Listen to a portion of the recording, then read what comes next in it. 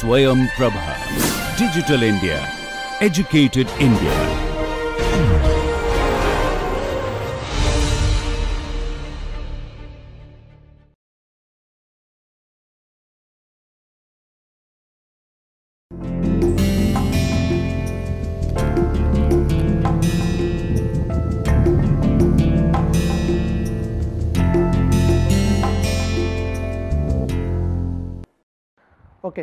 So, welcome back to the lecture series of finite volume and this quick scheme. If you analyze the truncation error which would turn out to be 1 by 6 del x cube minus 3 by 128 uh, del x to the power 4 phi c 5 and so on. So, which essentially give you some sort of an third order accurate. This is third order accurate scheme. So, as we move along the hierarchical direction, second order upwind was second order accurate, quick becomes third order accurate. Now, the third point one has to check its stability. So, the stability if you look at the right hand side convection term this would be minus 3 by 4 phi c phi w 3 by 8 phi e m dot e 0 plus 3 by 4 phi e minus phi e by 8 3 by 8 phi c m dot e 0 minus 3 by 4 phi c minus phi by 8 3 by 8 phi w. Then 3 by 4 phi w minus w w by 8 phi c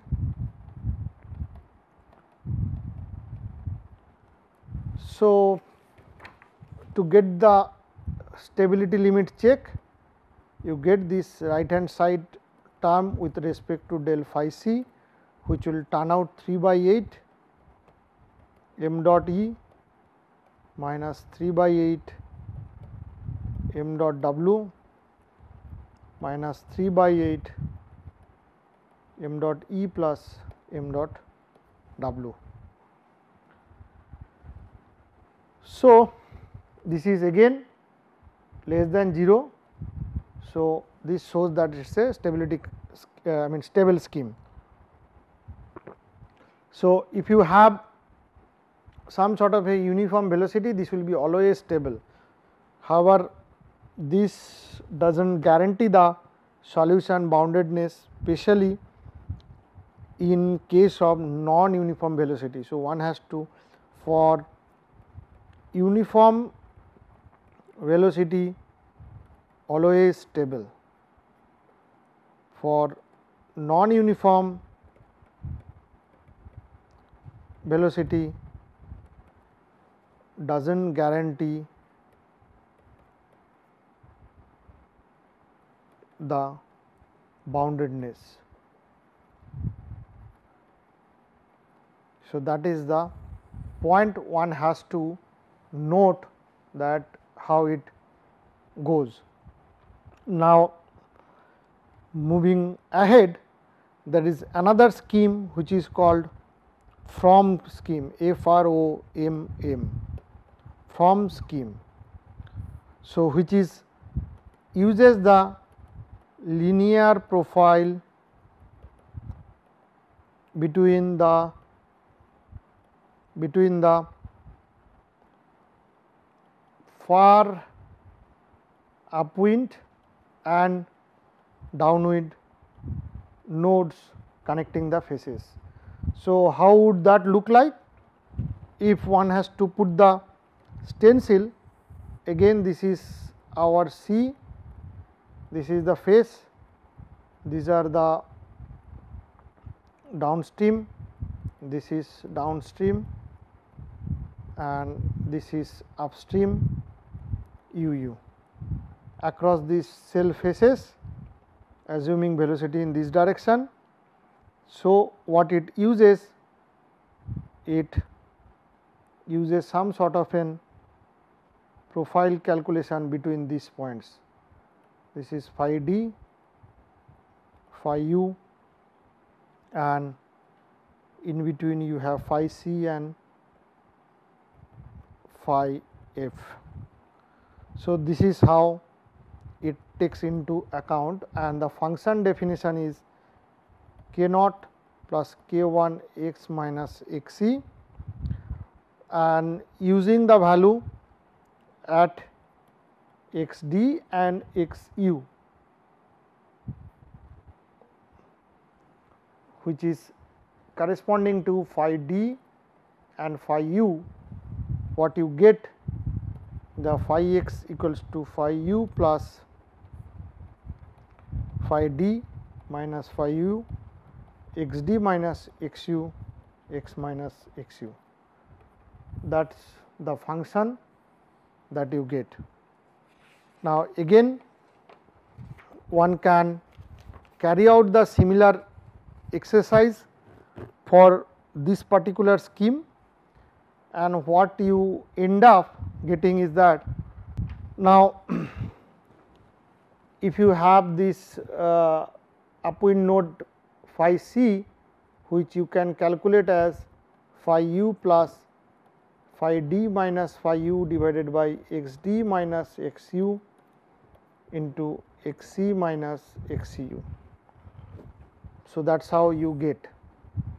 Now, again the assumption remains uniform grid 1D convection diffusion system then phi c becomes phi d plus phi u by 2 which is the centroid value becomes the average between this and this.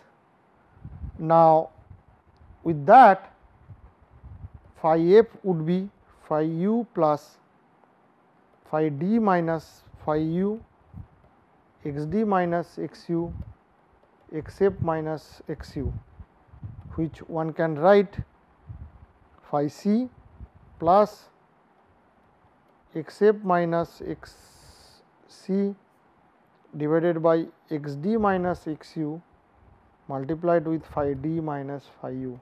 So, you use this information here and you get this and for the uniform grid it reduces to phi f equals to for uniform system it reduces to phi c plus phi d minus phi u divided by 4.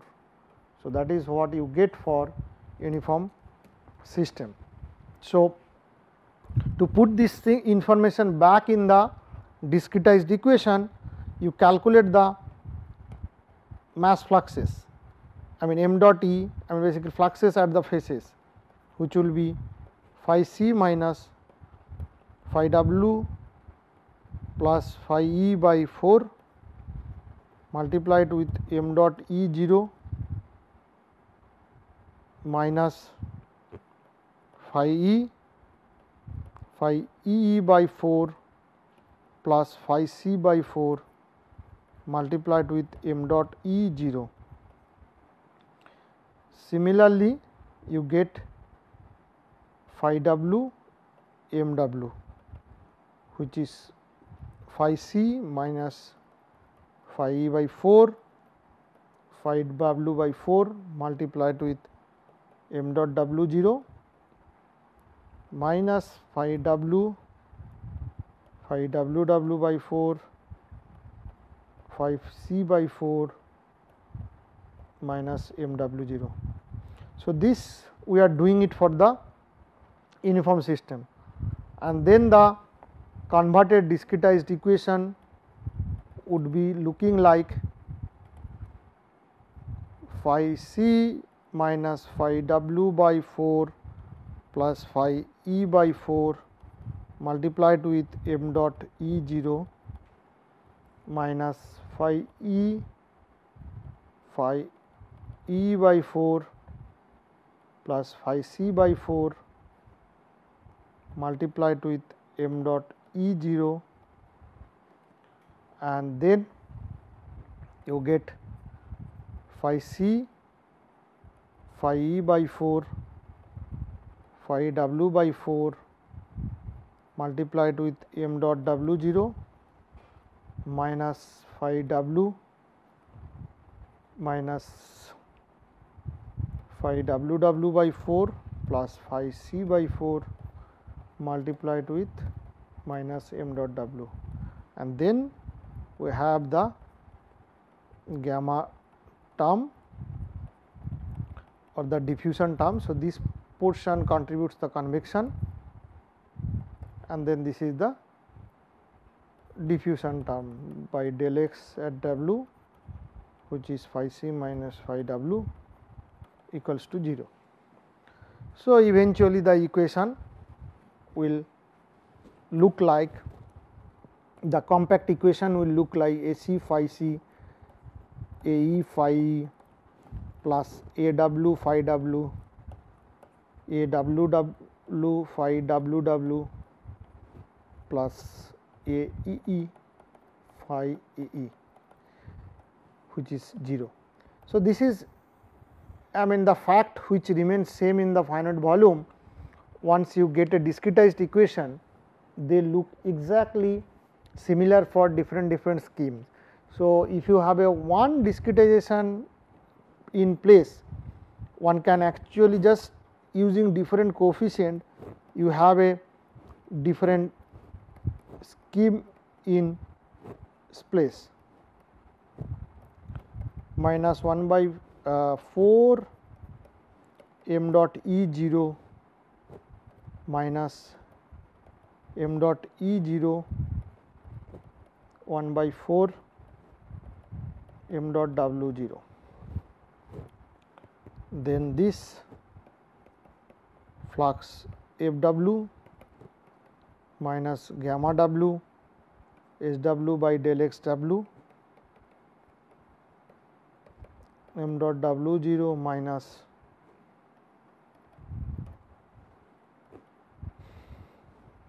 minus 1 by 4 m dot 0. Now, A e which will become flux F e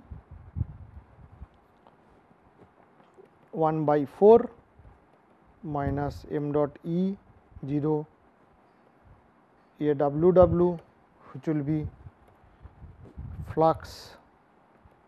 F small w w 1 by 4 m dot w 0 and finally, A c which is over the faces.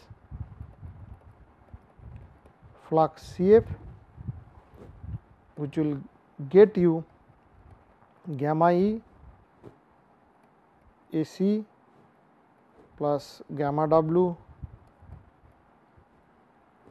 plus m dot E 0 minus 1 by 4 m dot E 0 m dot W 0 minus 1 by 4 m dot W 0 which will again remain as the summation of A E A W A W W E E plus m dot E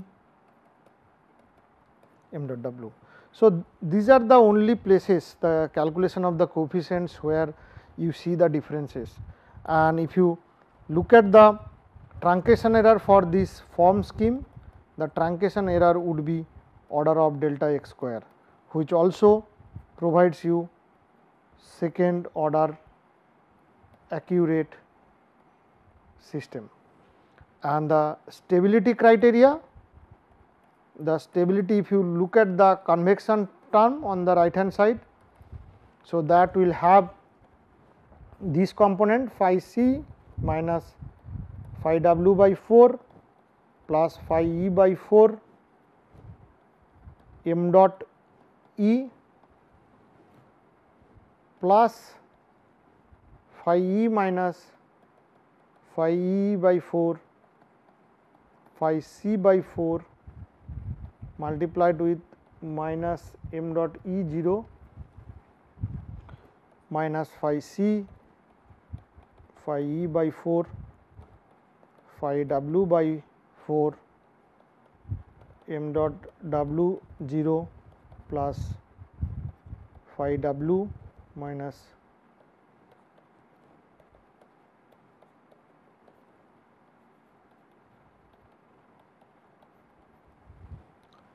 So,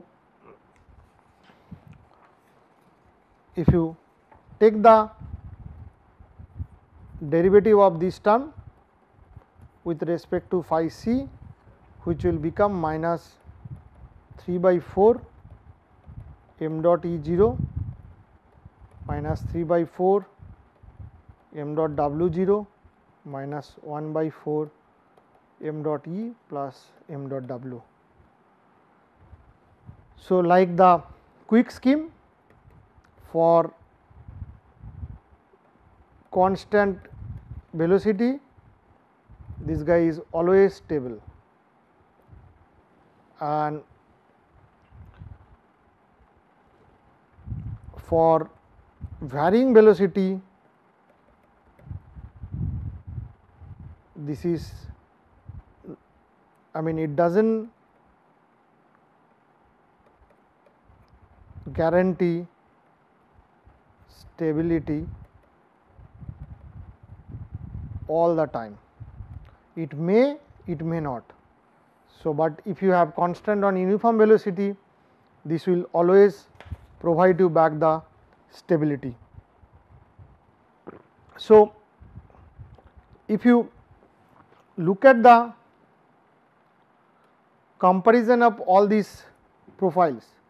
So, basically some sort of an comparison if you look at various schemes what you see is that with a the most negative coefficient is associated with second order upwind scheme that is minus 3 by 2 and then you have upwind scheme which is minus 1 then Fromm scheme uh, F R O M M Fromm scheme with minus 3 by 4 and then finally the quick which is minus 3 by 8 and C D is coefficient 0 which is sort of a neutral stability.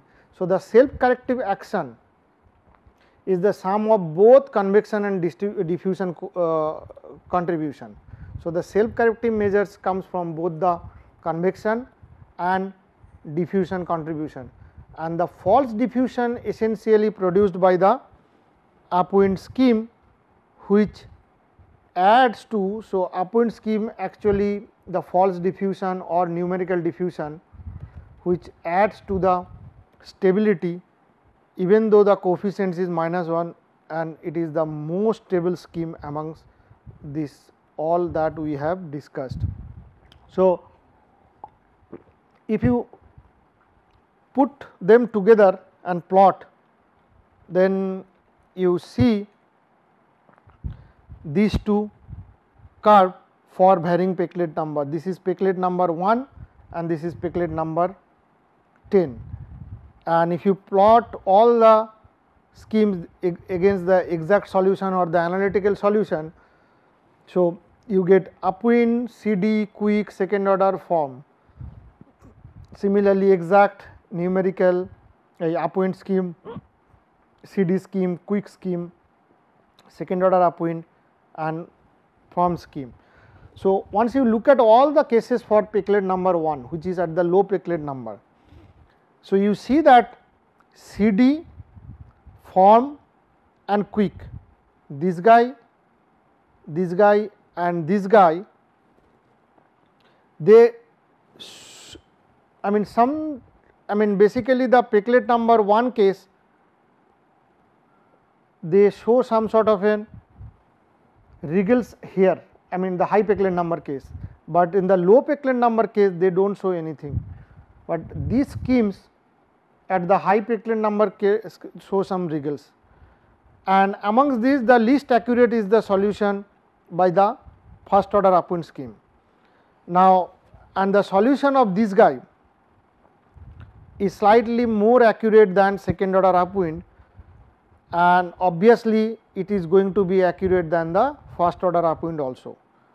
Now, when you look at this, this guy, this guy and this guy CD, quick and Fromm they show some wriggles in these locations of the solution. So, here the solution which is obtained by the first order upwind and the second order upwind their profile being the most accurate close to the exact solution. And now coming back to the Fromm and quick scheme on the other hand they show some wriggles, but with some small amplitude and the reason for these wriggles is that the imposed boundary condition at the exit of the domain. So, since the problem is convection dominated it is affected by the so these are for convection dominated flow the solutions at the downstream is partially affected by the uh, upstream calculations or upstream information. So, solution which are actually at the exit of the domain which was specified this is the exit of the domain that has some impact on these wriggles and all these things. But however, the second order scheme is expected to give rise to some oscillation in the presence of high gradient in the domain if you have a shock wave or like that. So, that gives you an idea on some sort of an comparison of this. Now, moving ahead you can actually find some functional relationship for uniform and non-uniform grids. So, so far our discussion was restricted to uniform grid. So, now one can find out some correlation or the mapping between uniform and non-uniform grid and how you can do that essentially let us see if you have some sort of an element C here which will be connected with a face this is the face f and the velocity here will be in this direction. Then there is cell D, then there would be cell D D downstream, Uh, the upstream there is U, upstream U U. So, this goes in a xi direction. So, sort of an curvy linear coordinate system. So, typically my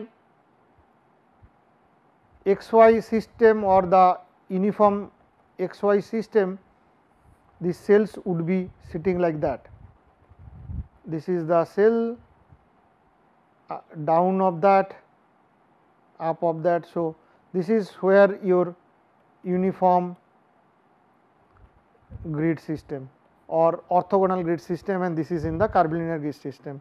So, one important point which is here the functional relationship for uniform grid remain exactly same and for the non-uniform also independent of whether the Cartesian or the curvilinear grid system is used. For non-uniform grid, the independent variable x which is appearing in the functional form should be replaced by xi.